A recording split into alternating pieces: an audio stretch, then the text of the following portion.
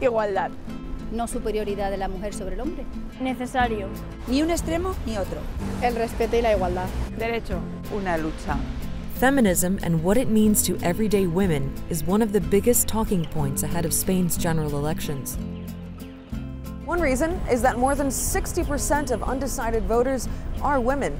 And in this tight race, Spain's five main political parties need all the votes they can get. Feminism has also become more mainstream. Millions of women went on strike to demand equal pay on International Women's Day. Mass protests also erupted after a high profile rape case in which a gang of five men accused of sexually assaulting an 18 year old girl were released on bail. More and more women are also speaking out against gender based violence. En España aún vivimos en una sociedad patriarcal. Uno de cada diez hombres maltrata a su pareja en España. I'm Ana Bella, a survivor from domestic violence and a social entrepreneur. Mi marido decía que me pegaba porque me quería. Hasta que una noche utilicé mi fuerza, mi miedo, mi valor, no para seguir aguantando insultos, desprecios, correazos, palizas, malos tratos, sino para coger a mis cuatro hijos, meterlos en el coche e ir a la policía a denunciar.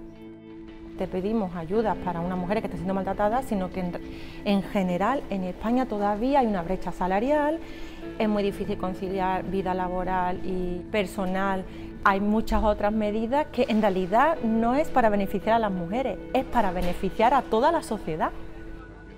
But the rise of feminism isn't going unchallenged. A counter movement is gathering pace, fueled by the growing popularity of the far right Vox Party. Vox viene a hacer frente al feminismo radical que quiere imponernos a las mujeres su burka ideológico, que no lo queremos, que no pensamos como ellas. Vox wants to undo policies that feminists have long championed, like abortion and gender based violence laws that they say discriminate against men. Conservative groups see these elections as a chance to make themselves heard. Hoy van a morir 250 seres humanos en España a causa del aborto. Queremos un compromiso eficiente que creen que hagan leyes efectivas para derogar la ley del aborto y proteger jurídicamente a todos los seres humanos. Both the political right and left in Spain say they seek equality.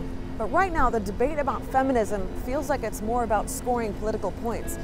And here's another thing. Todos y todas son abanderadas del feminismo, pero en España solamente tenemos hombres candidatos a ser presidentes de España.